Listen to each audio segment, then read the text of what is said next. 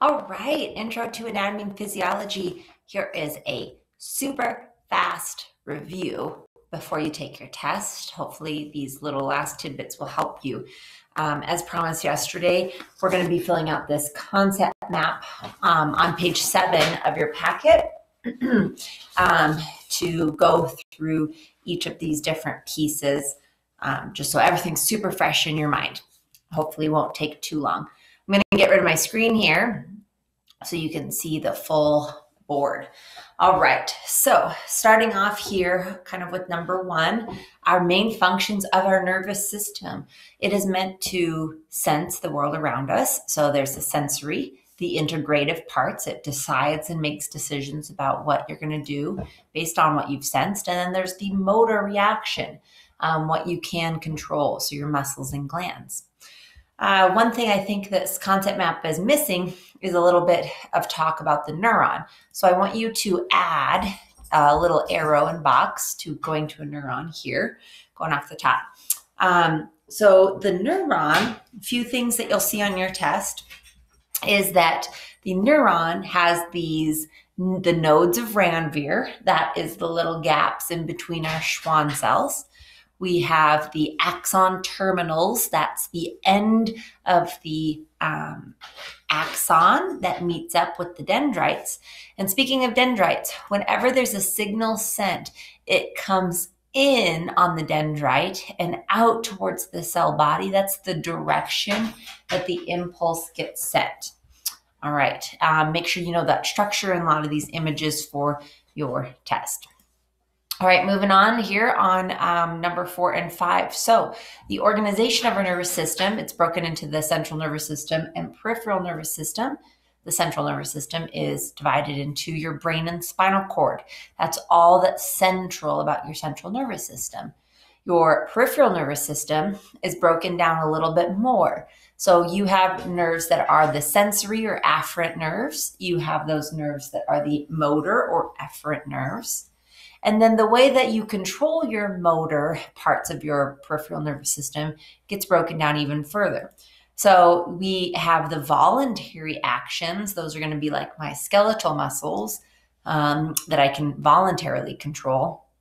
It's called the somatic nervous system. The autonomic nervous system is those things that are involuntary, things you don't have to consciously think about. So your heart rate, your breathing, dilating of your eyes, digestion, things like that.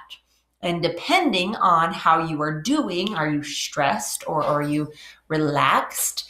Um, you might be in your sympathetic, the fight or flight um, nervous system, or if you are hopefully relaxed and calm, you're in your parasympathetic uh, nervous system, the rest and digest portion. All right. so moving on here up at the top, these are the supporting cells of our central nervous system. So the neuron is one of the main cells, and then the neuroglia are the other supporting cells, the neuroglia. So astrocytes were one of them. They are what form your blood-brain barrier. The microglia are the phagocytic cells that would fight off bacteria or other things invading your central nervous system. The ependymal cells, they are responsible for circulating your cerebral spinal fluid. They don't make it. Um, it's made by the choroid plexus in your diencephalon, but the ependymal cells help move it because they have cilia, little wave-like extensions. And then my favorite one, the oligodendrocytes. These are the ones that produce the myelin in our brain and spinal cord. Now, our peripheral nervous system has others as well, which we'll get to on the next screen. Before we get to that, though, um, our nerve impulse, another name for that, is called an action potential. Oh, excuse me, I forgot to mention this. Um, the myelin um, is what increases your action potential, which is what goes in box 18. And when something is myelinated, we observe that as being white matter. So the parts of the spinal cord that have white matter in it have myelinated axons. Um, if it is gray matter, it is unmyelinated. And the benefit of having myelin is that it speeds up those nerve impulses or APs, the action potential. All right, moving on to the other side of things. So those four up above were the um, supporting cells of my central nervous system. These two are my peripheral nervous system supporting cells, the Schwann cells and satellite cells. The Schwann cells make myelin in my nerves, so in the peripheral nervous system. Do the same thing. They look like white matter and they increase that action potential. Alrighty, so moving over to our reflexes, there are two different types, the polysynaptic and the monosynaptic. We do not talk about a monosynaptic arc, so you can cross that off. But this is just talking about what a reflex is when nerves are coming in and out of the spinal cord. What's really important for your test is that you know the order of that reflex. So it starts off with receptors receiving some stimulus. You stepped on a Lego, let's say. Then the sensory afferent neurons are what are going to allow the signal to be sent to your spinal cord very, very quickly. Once at the spinal cord, there's the integration function of your um, spinal cord. Those association neurons are going to take care of that for you. Um, the motor efferent pathway is what sends the signal out because you just stepped on a Lego and you want to pull your leg up as fast as possible. And so it's going to control those skeletal muscles, and that skeletal muscle is the final thing, which is called the effectors. The effectors, those muscles and glands. All right, almost done here, guys. Moving through quickly. The regions of the brain, there's quite a bit on the test um, about the different regions and lobes of the brain. Lots of things you practiced on your homework assignments, but um, there's four main regions. So the cerebrum is broken up into two hemispheres and they have different lobes your frontal, parietal, occipital, and temporal.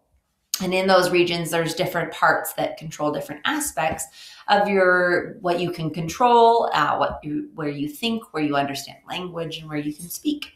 Make sure to know those regions and those pictures. Um, the part of the brain that makes up my thalamus, hypothalamus, and epithalamus is the diencephalon. That's the deep part of the brain. The brain stem is where my medulla pons and medulla oblongata are.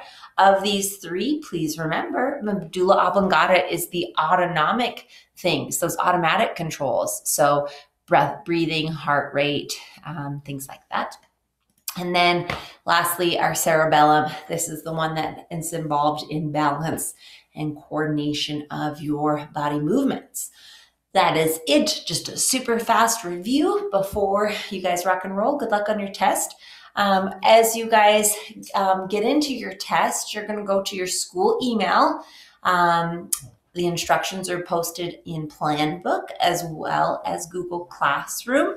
If you have forgotten how to access your email, it's your regular ID and password. Okay, just whatever you normally use to log in Google Classroom or any of your other school things. It's just your ID number and your password. I've sent you a personal email with your link. It is timed at 60 minutes. Read your instructions carefully. Good luck. Have fun if you can. And I'll see you soon. All right.